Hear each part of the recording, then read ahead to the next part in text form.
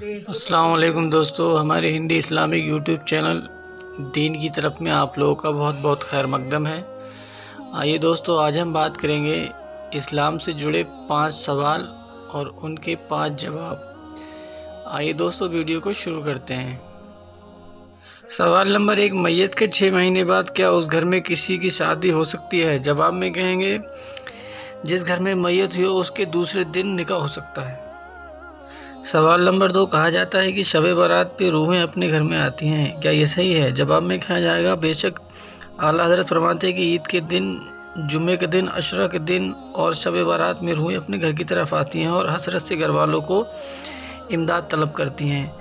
तो अगर घर वालों ने कुछ सदका वगैरह नहीं किया तो मायूस होकर वापस लौट जाती हैं। सवाल नंबर तीन, पानी का कारोबार करना कैसा है? जैसा कि आजकल बोतलों में पानी फ़िल्टर करके बेचा जा रहा है। जवाब में कहा जाएगा, पानी जिसके मिल्क में आ गया, उसका है। बेचने में कोई हर्ज नहीं है। सवाल नंबर चार, कुछ लोग कहते हैं कि चप्पल उल्टी होने से मनहूसियत होती है। ऐसा कुछ है? तो जवाब में कहा जाएगा, ऐसा कुछ नहीं है। ये सब जहालत है।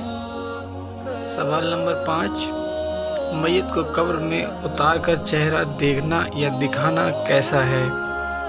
जवाब में कहा जाएगा मैत को कब्र में उतारने के बाद चेहरा नहीं दिखाना चाहिए, मना है। जैसा कि किताबें बिस्तर अलालात में है कि बाज़ जगह मैत को कब्र में रखने के बाद मैत का मुँह खोलकर लोगों को दिखाया जाता है। माज अल्लाह, अगर अगर कहरे इलाही से उसका चेहरा मस्क हो गया हो तो लोगों पर ज़ाहिर हो जाएगा और हदीस शरीफ में ऐप छुपाने का हुक्म है। ना कि ज़ाहिर करने का हुक्म लिहाजा चेहरा ना दिखाया जाए।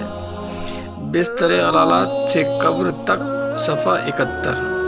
दोस्तों, आप लोगों से एक दरख्वास्त करूँगा। अगर आप लोग हमारे चैनल पर नए हैं तो प्लीज़ हमारे चैनल को सब्सक्राइब कर दीजिएगा और बेल आइकन के बटन को भी दबा दीजिएगा, जिससे कि हमारी आने वाली वीडियो सबसे पहले आप तक पहुँच सके। और जितना हो सके तो दीनी मालूम को अपने दोस्तों में रिश्तेदारों में ज़्यादा से ज़्यादा शेयर कीजिएगा।